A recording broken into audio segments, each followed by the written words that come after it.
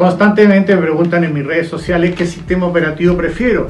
O en castellano si prefiero el iPhone o los otros teléfonos con Android. Y siempre yo digo el iPhone porque no, le, no tiene virus y no tiene malware y cosas así hasta el día de hoy. Resulta tal cual como hablaba antes de que existen unos correos electrónicos que dicen bono COVID y cosas así.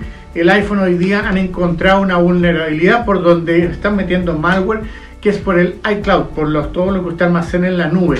Cuando le lleguen cosas y las guarda en la nube, por ahí entran a su dispositivo móvil que acaba de dejar de ser invulnerable. Entonces la recomendación es nunca haga clic en los links que mandan de bancos, de cosas así. A mí me llegan de Estados Unidos, de todo tipo de cosas, hasta de la NASA, son todos fake.